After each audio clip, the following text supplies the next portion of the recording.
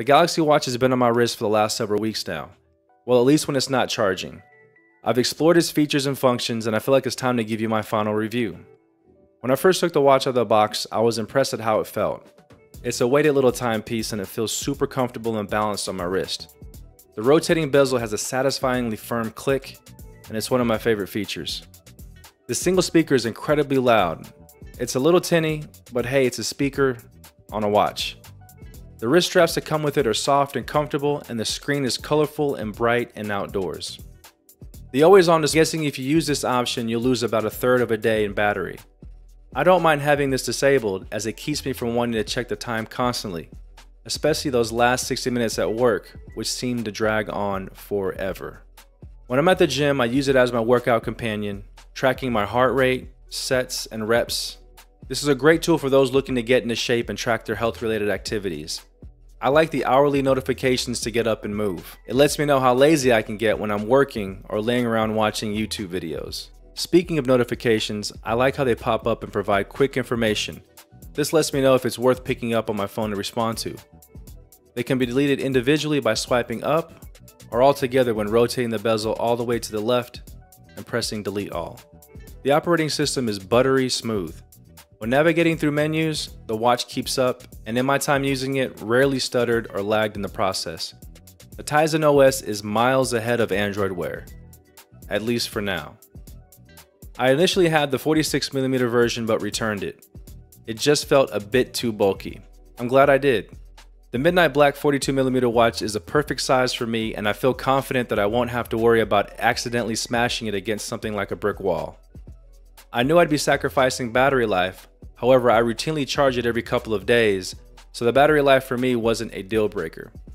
To be honest, both sizes have excellent battery life. I'm speaking solely about the Bluetooth version as I was not able to test the LTE edition, which I heard is a battery killer. Safe to say that getting the Bluetooth only watch will definitely get you through two days, and that's even wearing it overnight. Be sure to put it in good night mode before you shut your eyes though.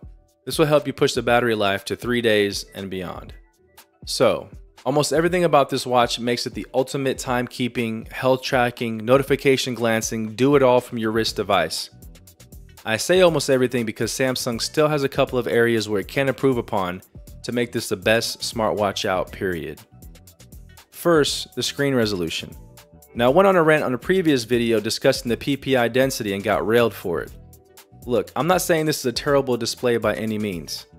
It's an incredibly bright, stunningly saturated colorful display. But Samsung is the leader in display technology, and I was hoping they would bump up the screen resolution with this update to at least 340 ppi or above. And they didn't. To me, I was a little disappointed that they decided to go with the exact resolution of the now 2-year-old Gear S3. Samsung, please bump up the resolution in the Galaxy Watch 2. Thank you. Another gripe I have is the lack of third-party support from Google. See, I use Google Maps, Google Play Music, and Google Assistant on my phone, and I would love to see Google provide support for these applications on the watch as well. That would make this a truly smarter smartwatch. Lastly is Bixby. I'm honestly not sure how I feel about Bixby. Some days it works great, other days not so much. A month in and Bixby is still just a meh experience. Maybe one day we'll be able to have a great relationship, but as of now, it's a little touch. I'm impressed with its long-lasting battery life, and that's it. Super Just some minor issues that I personally have. The thousands of watch faces and endless customization.